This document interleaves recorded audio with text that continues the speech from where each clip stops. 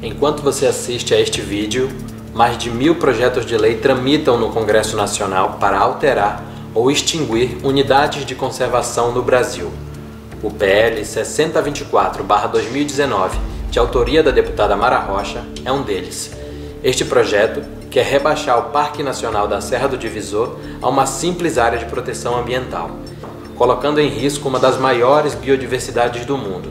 Além disso, o texto prevê uma redução da reserva extrativista Chico Mendes. A investida para acabar com as florestas em favorecimento de poucos é feroz. A ação faz parte de um projeto político perverso que tem o objetivo claro de deixar passar a boiada quando o assunto é ações predatórias na Amazônia. O PL beneficia apenas um seleto grupo do setor econômico, ameaça a segurança de famílias tradicionais, dá carta branca aos desmatadores, além de legalizar a grilagem de terras.